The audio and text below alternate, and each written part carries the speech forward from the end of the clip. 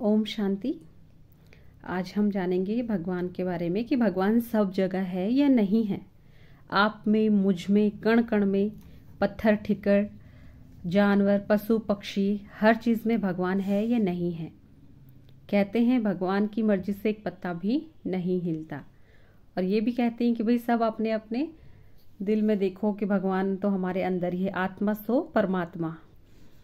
आत्मा सो परमात्मा कहते हैं। कि आत्मा ही परमात्मा है। अब सारी दुनिया में इतने भगवान कैसे हो सकते हैं? आत्मा तो सभी मनुष्यों के अंदर है तो इतने क्या परमात्मा हो सकते हैं? और फिर कहते परमात्मा कण कण में है, हर किसी में है, कुत्ता, बिल्ली, ठिक्कर भितर हर जगह भगवान है। तो फिर जब हर जगह भगवान है तो फिर हम जब भी दुखी होते हैं, परेशान होते हैं तो क्या कहते हैं? ऊपर वाला जाने। हमेशा ऊपर की ओर इशारा करते हैं। कि भगवान जाने, ऊपर वाला जाने। कभी हमने बोला कि अंदर वाला जाने? हैं? अगर कण कण में है तो कभी नीचे वाला जाने बोला? हमेशा नीचे देखा कभी दुखी हो करके कि कण कण में, पत्थर में, ठिक्कर में? नहीं देखा ना। हमेशा हमने ऊपर देखा है कि जब भी दुखी होते हैं कि ऊपर वाला जाने, या हे भगवान करके जब भी दुखी होते हैं तो हमेशा ऊपर की ओर इशारा करते हैं। और दूसरा है, अगर हमारे अंदर भगवान है तो हम अपनी पूजा क्यों नहीं करते? हमारे अंदर भगवान है। अपनी पूजा नहीं करते, हमेशा देवी देवताओं की पूजा करते हैं, भगवान की पूजा करते हैं। तो यहाँ पे कुछ चित्र दिखा रखे उनके माध्यम से मैं आपको समझाती हूँ कि परमात्मा सर्वज्ञ और सर्वशक्तिवान है। सर्वज्ञ मतलब सब कुछ जानने वाला है, सर्वशक्तिवान है, परंतु सर्वव्यापी नहीं। God is not omnipresent सर्वव्यापी मतलब हर जगह। अब यहाँ पे जैसे हम आरती भी गाते ना, ओम जय जगदीश वाली की, कि पतित पावन आओ, हमें पति से पावन बनाओ। तो यहाँ पे देखो, सबसे पहले यहाँ पे दिखा रखा है आपको, मैं दिखाती हूँ। आपको दिखाई नहीं देगा।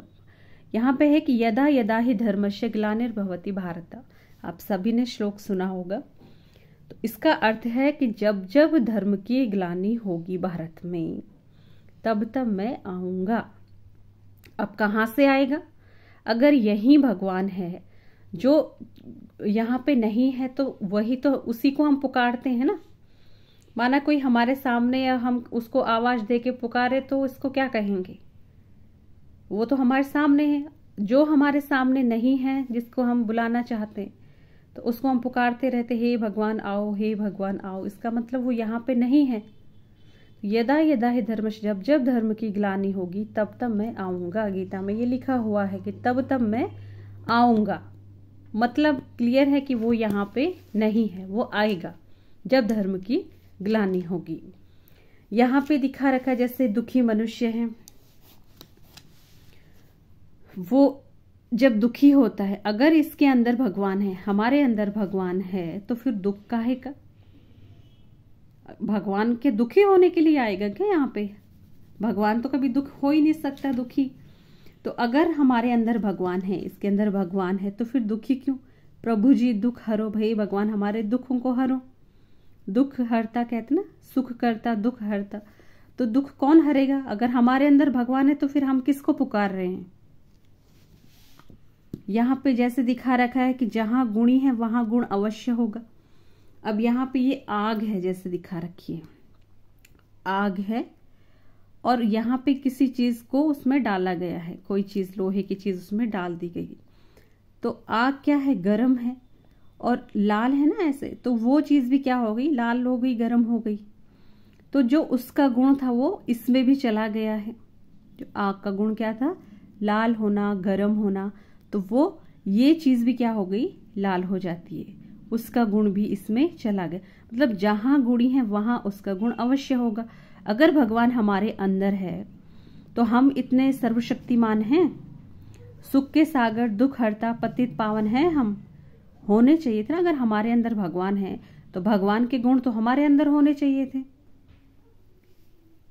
जितने भी भगवान के गुण हैं, सुख, शांति, सुख का सागर, शांति का सागर, प्रेम का सागर, लेकिन ये सब तो हमारे अंदर कुछ है ही नहीं बचा हुआ आज। तो मनुष्य के आज दुखी है तो इसका मतलब क्या है कि भगवान हमारे अंदर है ही नहीं? अब यहाँ पे ये अब ये अगर इन दोनों के अंदर भगवान है तो भगवान का आ, काम क्या? यही रह गया है। ऐसे काम करेगा भगवान? भगवान तो ऐसे कर्म नहीं करेगा। अब ये जैसे दिखा रहा है कि भाई भाई को मार रहा है ये मनुष्य तो फिर यहाँ पे भी क्या है? इन दोनों के अंदर अगर भगवान है तो एक दूसरे को क्या मारेगा? कोई चोरी, चोर चोर चोरी करता है तो भगवान क्या चोरी करेगा? अगर उसके अंदर भगवान है तो। अब यहाँ पे है कि प्रभु जी दर्शन दो, भक्ति करते हैं, पूजा पाठ करते हैं भगवान, कि हमें साक्षात्कार हो जाए, हमें भगवान दिख जाए, भगवान के दर्शन हो जाए। तो अगर वो हमारे अंदर ही है, फिर हम किसके दर्शन मांग रहे हैं? तो ये सारी चीज़ें क्या है कि भाई भगवान हम सभी के अंदर नहीं है।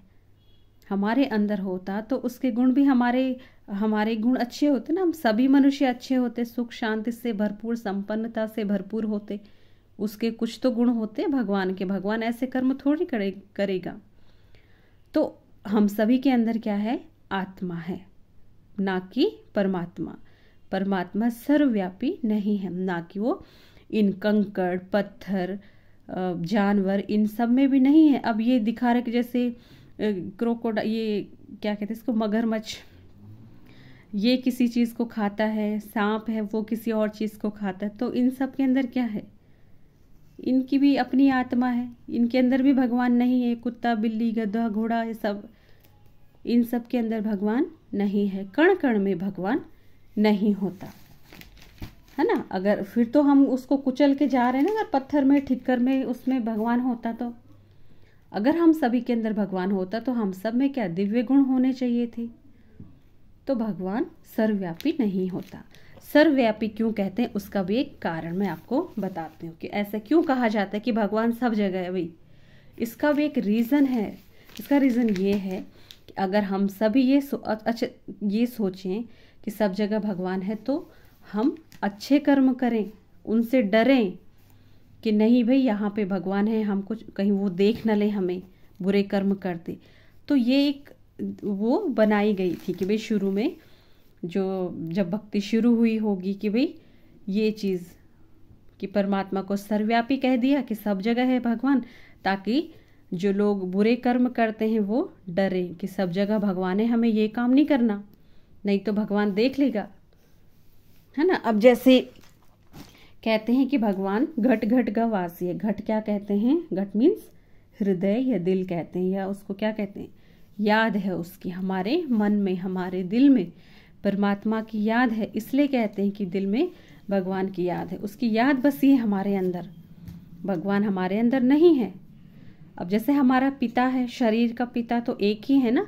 लेकिन हम जहाँ जाते, अभी भी हम अपने पिता शरीर के पिता को याद करेंगे तो क्या होगा? उनका चित्र जो है, उनकी जो जो उनकी शक्ल, सूरत, उनके काम, उनका बोलना हमें तुरंत याद आ जाएगा एक सेकंड में कि हाँ मेरे पापा ऐसे हैं, इस तरह से बात करते हैं। तो अब ये हम थोड़ी कहेंगे कि वो यहाँ पे भी हैं। उनकी याद है ना हमारे मन में, हमारे दिल में उनकी याद है। तो ऐसे ही हम आत्माओं का पिता, जो परमात्मा है, उनकी भी याद हमारे मन में है। तो ये एक अच्छी चीज़ के लिए बोला गया था शुरू में, जैसे बड़े बुज़ुर्गों के द्वारा जब से भक्ति शुरू हुई कि कि चलो कम से कम इस वजह से क्या होगा, पाप कर्म नहीं होगा।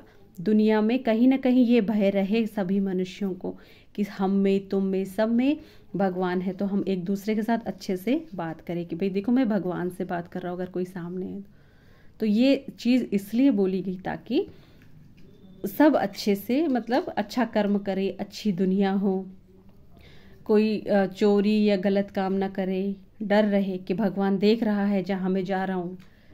लेकिन ये चीज़ तो हम भूल गए, हम बुरे कर्म भी करते रहे और ये भूल भी करते रहे कि भगवान को कुत्ता, बिल्ली, ठिक्कर, भित्तर सब जगह कह दिया है। तो भगवान क्या है?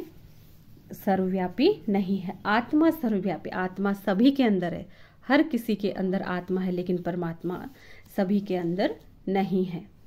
तो आप सभी ने इस चीज़ को ज़रूर समझा होगा और यही है कि भगवान सर्वव्यापी नहीं है। हम सभी के अंदर नहीं है भगवान। हम सभी के अंदर आत्मा है और परमात्मा सर्वव्यापी नहीं, वो सर्वज्ञ है, सर्वशक्तिवान है। अच्छा ओम शांति।